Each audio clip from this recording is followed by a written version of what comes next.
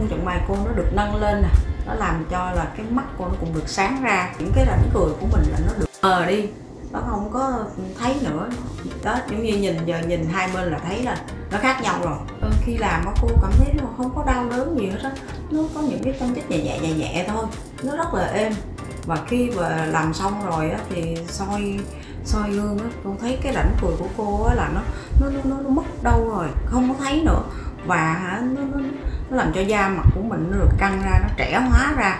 Nó rất là rõ ràng cũng như là nó có sự khác biệt giữa hai bên.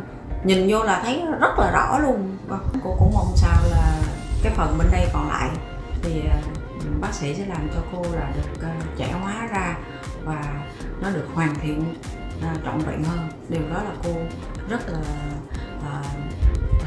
hài Thanh Mai luôn đi đầu trong suốt 23 năm qua trong lĩnh vực làm đẹp dưới sự điều hành của thạc sĩ kinh tế MC Thanh Mai. BB Thanh Mai vinh dự nhận được vô số các giải thưởng như thẩm mỹ viện tốt nhất châu Á Thái Bình Dương, thẩm mỹ viện sở hữu nhiều ca trẻ hóa da hiệu quả nhất khu vực, nhiều nghệ sĩ trong và ngoài nước, các chính khách, các doanh nhân luôn đến và làm đẹp trong suốt những năm qua là minh chứng rõ ràng nhất cho hiệu quả và chất lượng làm đẹp tại BB Thanh Mai.